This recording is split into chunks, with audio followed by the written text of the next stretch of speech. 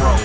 Oh, these bitches know you niggas hoes. I'm surgical with a 38, give them a nose. You niggas ain't really sick, just pretend to be cold. I open up this magazine, you'll center a fold.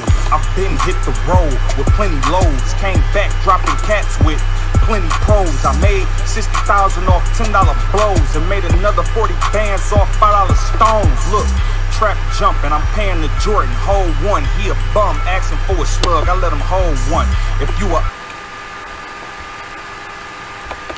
All right, all right. So, what we are going to do, we are going to be talking about the King of the Dot uh, Grand Prix.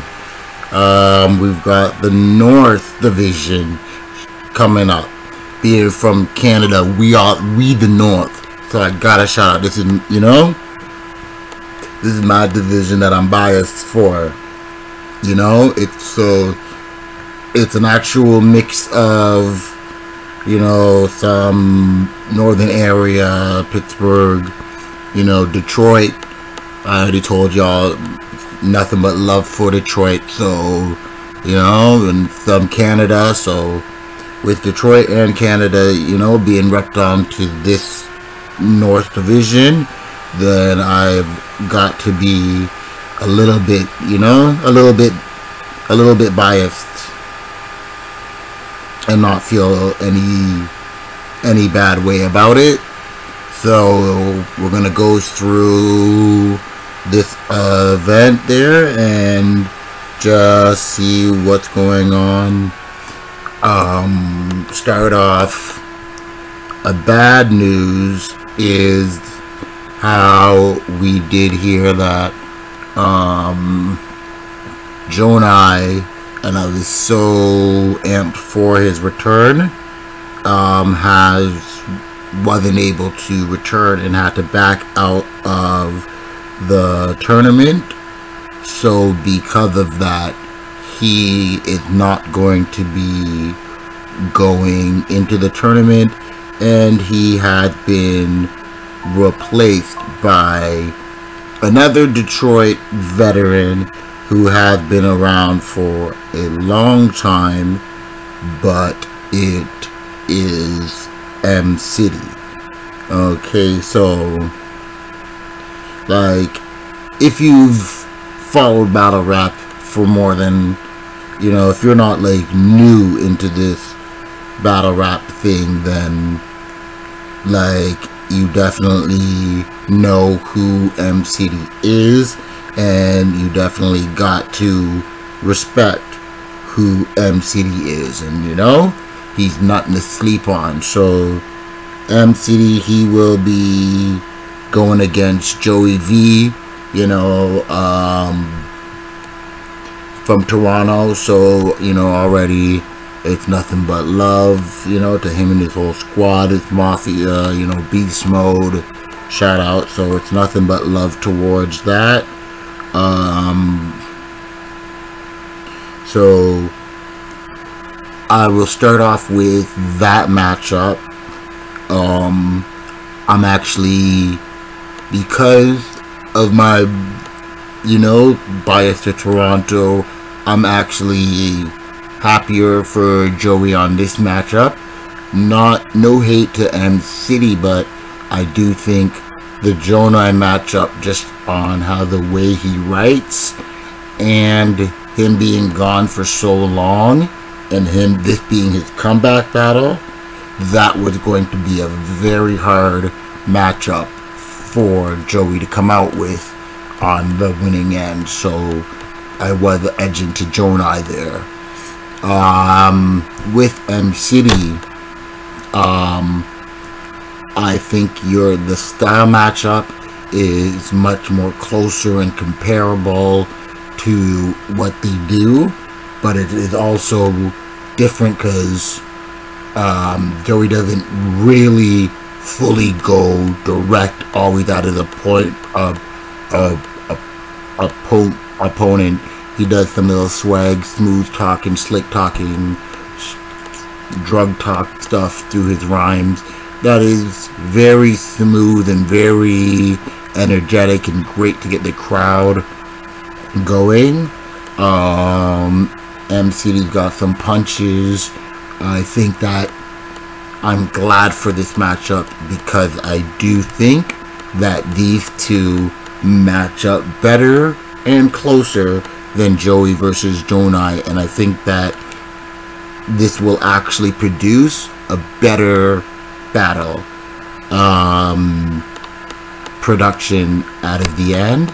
Um, I think these two are close enough that it really depends on who comes with the right attack um, as to who's going to win.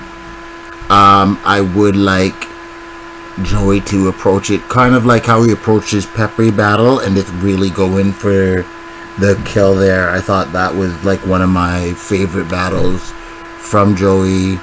Um, either way, this is definitely going to be a 2-1 battle. I have, unless somebody chokes or messes up, I don't see anybody clearly taking this one. This is going to be a 2-1 battle. So, you know what? I got a edge to um, Joey. I think um, MCD being known, but not being really a superstar. I think Joey being a little bit less unknown, but they do know him in Detroit. He can be ready to shock out the world and totally, you know. So I'm gonna edge that one to to Joey. Uh, okay, so we got Marv One versus Gage. Okay, so I don't want people thinking that I'm hating on Gage because Gage versus Goods is literally the only battle from Goods that I like. And I thought that them two in that battle is amazing. I thought Gage versus Verb was Gage was amazing. But this is a tournament style battle. Two minute, not three, not five minute rounds. Two minute rounds and this is Marv One, who has been killing tournaments since two like we we seen him in 2007, 2008 with with Quest McCody. So I don't know why a lot of people really seem to be doubting on what Marv can do. I think Marv's style, cause Marv will clown you just like right after the other. He's not gonna slick talk. He's just gonna, you know, it's not punch heavy, but he's like I've always said that I could totally picture him in school being the class clown and doing the dirty dozens and just ripping people. I think in the two minute rounds, it completely benefits Marv. We can't forget that Marv can freestyle when he wants to. He doesn't really choke. I have Marv taking this 2-1, possibly 3-0.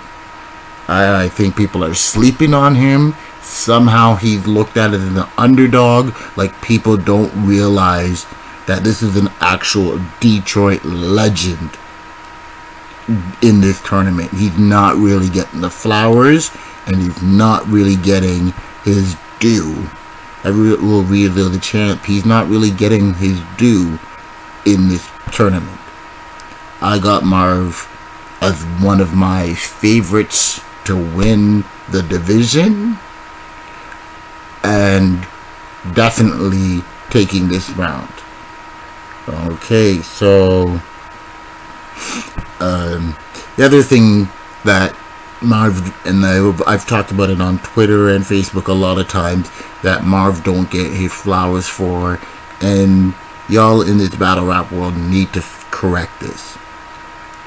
Why is it when everybody be naming who's the best that make music and there's only a few of us that recognize and give his name. This guy is easily one of the best rappers on tracks and you can't you can't name like five to six people clearly better than him on tracks. You know, they can compare, but they're not clearly better than him. This guy be making beats. This guy, I don't even understand, but Marv is You know, what, been a fan of him since forever, so maybe I'm a little bit biased on that. Okay, so then we got Charron versus Shotty P. Okay, so Charron is another one of my picks to win this just because, let's be honest, Charron, he can mix silly gun, like, you know, he can do some gun punches, he can be funny, he can be silly, you know, he can be, he can do Eminem's third round of 8 Mile of making fun of himself and it going over well. Plus, who else in this tournament, no matter how much time limit they're going to be given in between rounds, do we know is not going to choke? Have we ever, like, you've seen Charron slip up, I think, but we know he's not going to choke. His freestyle is incredible. Okay, so Shotty P is a good writer. Shotty P is a great puncher. He sometimes is very smart on even when the other person is ranked higher or viewed better. He's very good, I find, at picking the right angle to go at the opponent he's going for. He reminds me of Murder Mook on that, where even if the other person is better. He knows the chink in the armor and how to approach it. So that'll be interesting on how he approaches Charron. But if we're just going on past performances and skill set on paper, this is a two minute tournament style, two minute rounds. You have to go for Charron on this. You have to go for Charron. You know, he's going to probably take the second, where he's going to do a lot of rebuttals. And then he needs to take the first or the third. So, Shotty, have a crazy third. Have a crazy first. If you have to have a, the weakest round, you can wedge that into the second. Have a crazy first round. Take it crazy first round that you have all the momentum and your third round, especially the last 45 seconds to a minute of your round, talk to him in pure heat. But you know what? I have to edge to Charron.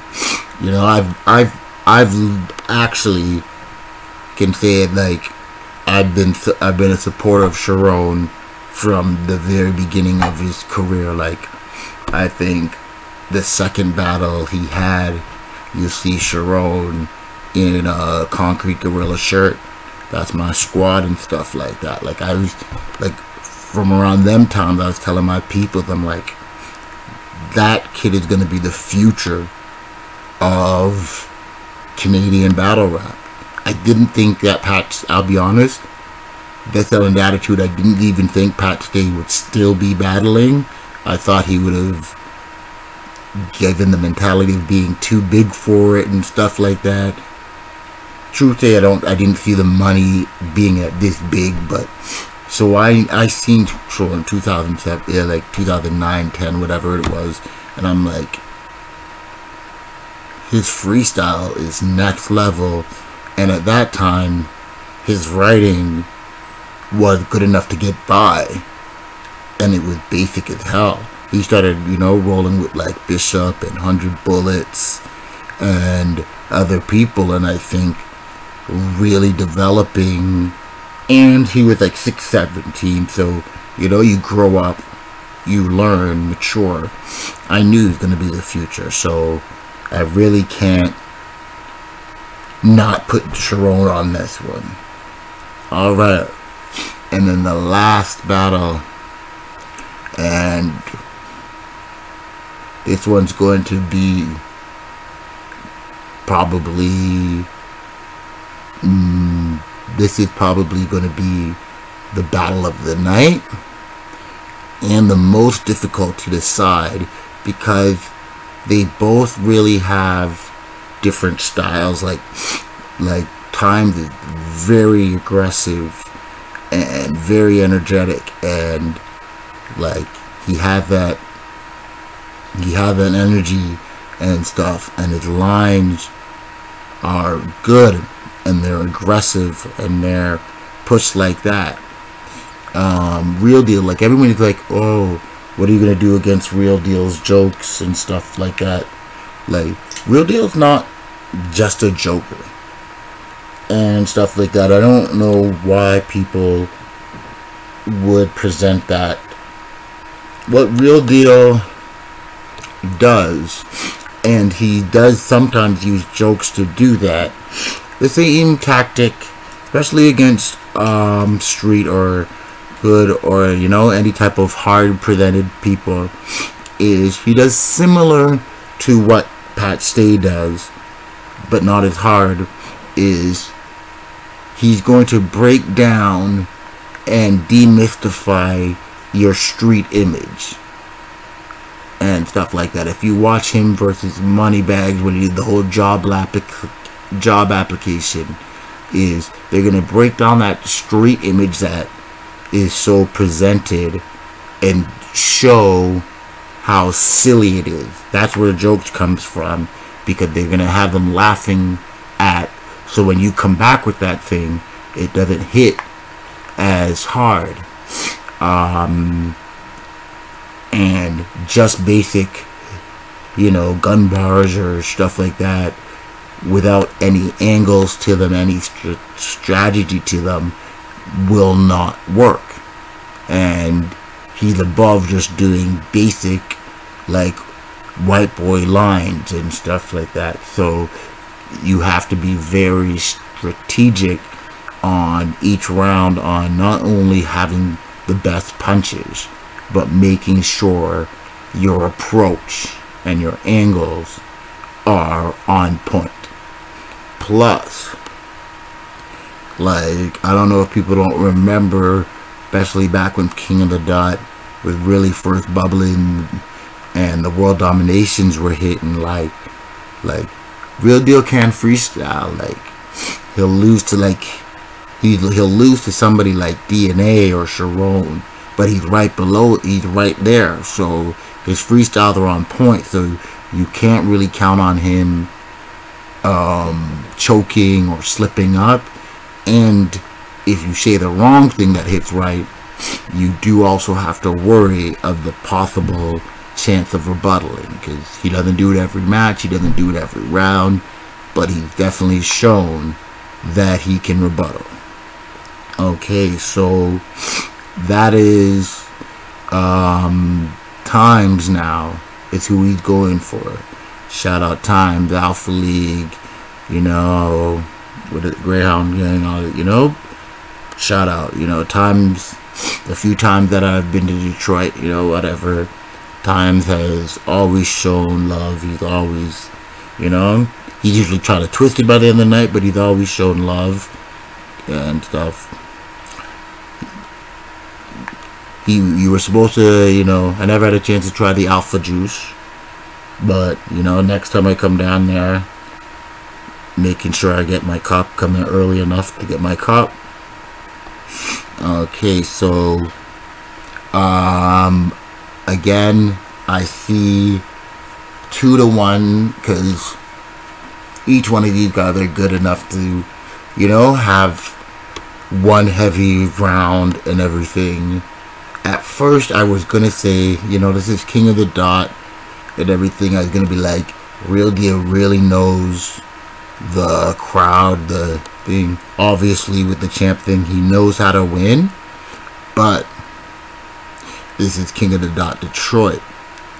And Times is Mr. Glove Up. And the crowd that's going to be there, he's going to really know how to reach them he's gonna really know what's gonna get the reaction and everything. So, um, this, you know what? Because this one is so close, but yeah, you know what? Gotta go two one. Times is gonna want it. Gonna be hungry. Like I don't know if Real Deal is as hungry. Times is really gonna want it. He has really something to prove. So we're gonna go for Times on that one two to one close battle. Okay, so That's the King of the Dot Grand Prix North Division. And just so that you guys hear it here first, whoever wins the North is taking it all. So the rest of the divisions, y'all just can chill and relax and discuss what y'all are gonna do. But so then, um, the battle is this Sunday on Twitch. Sign up and follow King of the Dot. Spell it out when you look, search for it, King of the Dot. And Saturday, I believe, they do the uh, face offs live on Twitch. Sometimes those are really funny. Like the South one was really, really funny. So, um, and then Sunday they have the battle. Sunday, I think like three or four. Make sure you check out, do the comments, let them know you heard about it here. Um, after the North one this Saturday, I believe they are starting the second rounds. So we'll just do a quick rundown of what's going on on the second round. So we got Disaster doing a rematch from like 2008 versus Thesaurus, West Coast Legend versus West Coast Legend. Um, in general, I'll be honest, I very rarely will vote against the Thesaurus in battles, especially tournament battles. Um, after the first round, I think people are going to be very careful. I have to edge that to Thesaurus for that one. And then we have Active versus Saint. I think they level the pen, and I didn't think Active should even have. I don't think Active won his last battle, and Saint's not gonna play and go light. I've there. I don't see any way of Active being able to beat Saint in three rounds. He just doesn't have the penmanship. He doesn't. He doesn't have the skill set that he should be able to compete with. Think. Okay, so um, in the South, we got, I believe, Trez versus So Severe. I got Trez taking that. And we got Clone versus Hayes, the family, or Family Man Hayes. Um, I gotta make up.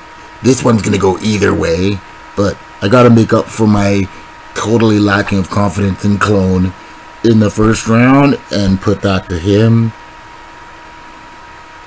Then we got, um, what is it? Head Ice versus XL, which was the battle that was supposed to happen before, but now we get it. So this is going to be interesting. Um, I like XL better, but for some reason, I don't know what he does to the judges, but for some reason, judges do not like to not pick ice.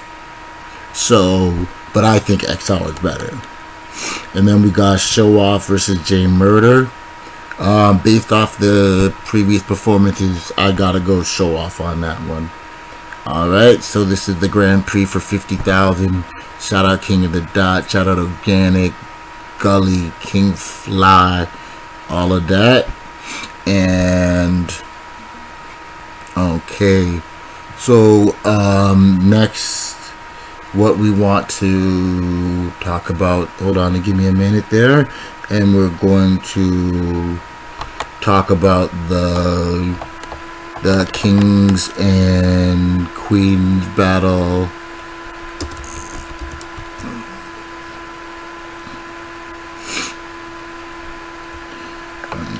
Okay, but let's give me a break. So I'm just gonna play something while we get ready for that, okay? And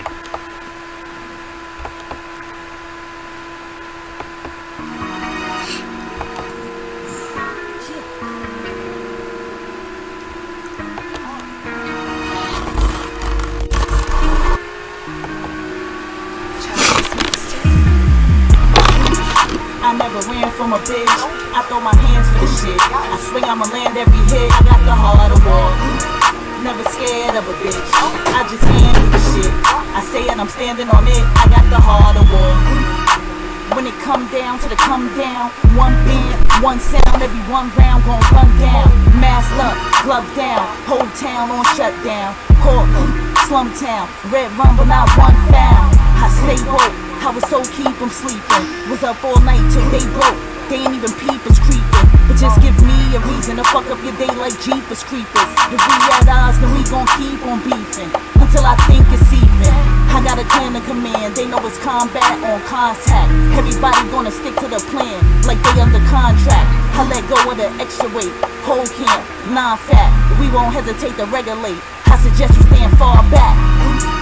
I never ran from a bitch. I throw my hands for the shit. I swing, I'ma land every hit. I got the heart of war. Never scared of a bitch. I just handle the shit. I say it, I'm standing on it. I got the heart of war.